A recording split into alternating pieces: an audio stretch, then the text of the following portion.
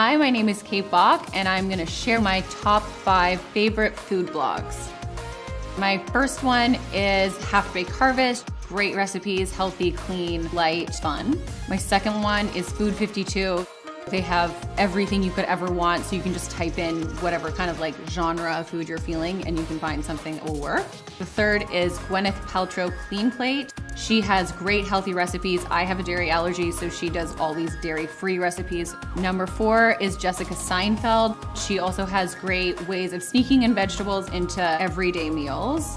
And my fifth one is Michael Symon. He has a five for five recipe book. It's five ingredients in five minutes for all the seasons, and you can always find something that's delicious and easy and fresh to make.